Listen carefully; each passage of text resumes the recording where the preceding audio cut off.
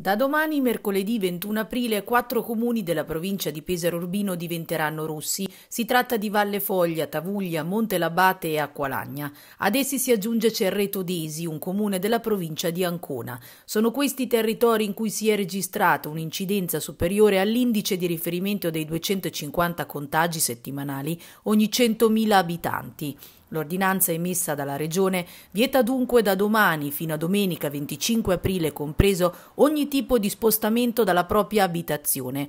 Non si potrà uscire né entrare all'interno di questi comuni se non per motivi di necessità, salute, studio o lavoro. Rimarranno invece aperte le attività economiche e le scuole, come già previsto per la zona arancione e occorrerà in questi cinque giorni far sempre uso dell'autocertificazione per giustificare i propri spostamenti. Una decisione che ha colto di sorpresa anche il sindaco di Vallefoglia Palmiro Occhielli che lancia di fronte alle telecamere di Fano TV un ulteriore appello ai cittadini per far sì che rispettino le regole. Tentativo da il 21 al 25 di contenere i contagi. Noi siamo passati da un minimo di 40 contagi ad un massimo di 140, adesso siamo sugli 85-90 contagi ad oggi e superiamo di poco la soglia di 250, siamo 259,30 e quindi eh, diciamo la raccomandazione che c'è anche nell'ordinanza è quello di evitare assembramenti,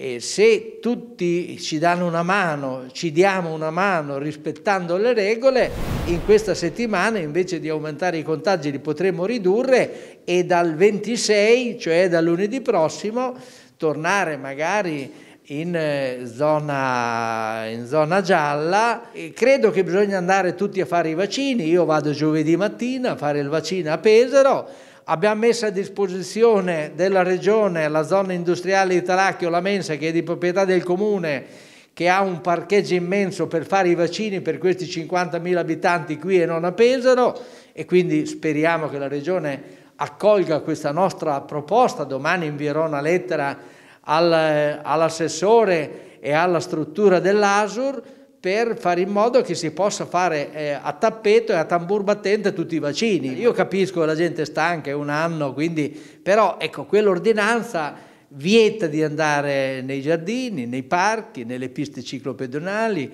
perfino ai cimiteri e anche nelle piste polivalenti, quindi bisogna stare a casa e cercare di uscire il meno possibile per evitare i contagi.